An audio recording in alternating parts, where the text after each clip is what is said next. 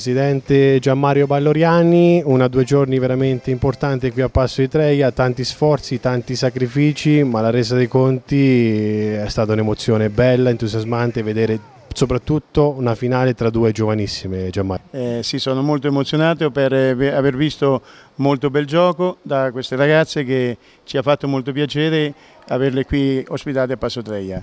Eh, ringrazio tutti, quelli che sicuramente mi sono stati vicino, molto, eh, tutti i collaboratori, quelli che mi hanno aiutato in cucina e per fare tutti questi lavori eh, bisogna avere tanta forza di volontà. E uno staff, oltre che economico, anche uno staff di persone che, che sono insieme a te.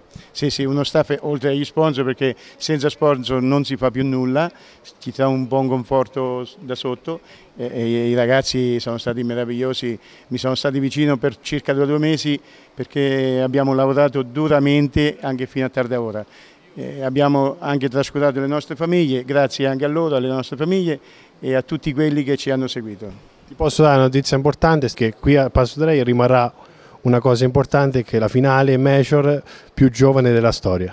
Eh, sottolineando Ginevra Annulli plurivincitrice mondiale e Sofia Pistolesi campionessa europea, quindi avete avuto il meglio del meglio. Il meglio del meglio, ce lo aspettavamo questo perché eh, glielo dicevo, se ragazze voi dovete arrivare al podio. Sono contento, ma grazie anche a tutte le altre perché ha dato una gioia a tutti eh, vedere tutte queste giocatrici venire a Passodreia. È stata una partita, come diciamo è solito, che comunque le partite tra noi due sono sempre belle combattute e quindi... Diceva il nostro collega Luigi Castignani che è la finale più giovane della storia di una, di una gara major.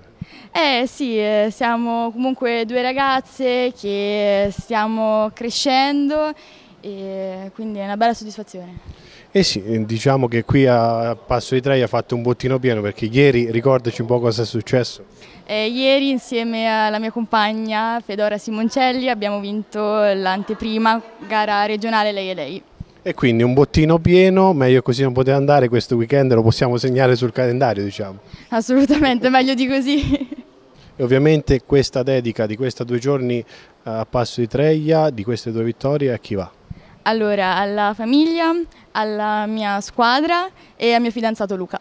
In compagnia di Pergreffi Luciana, vincitrice di questa gara nazionale Sport per Tutti qui al, al Passo di Treia, Luciana hai fatto una gara praticamente perfetta perché quando si vince va tutto bene. Ok, sì, sono molto felice perché è la mia prima gara che vinco, anche se è un po' che gioco.